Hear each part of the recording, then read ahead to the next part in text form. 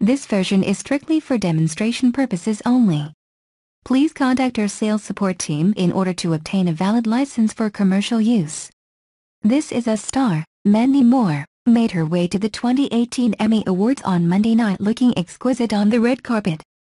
The event that took place at the Microsoft Theater in Los Angeles also included her co-stars of the successful NBC show she calls Family.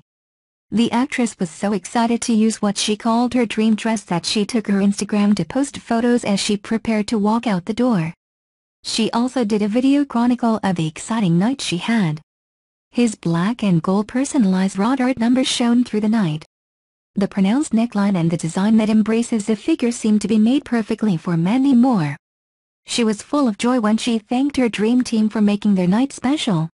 Moore completed her outfit with black strap sandals, a pair of dangling diamond earrings and a matching bracelet. She left her brown locks flowing loosely over her shoulders at night, but added soft curls to give her hair a wavy style.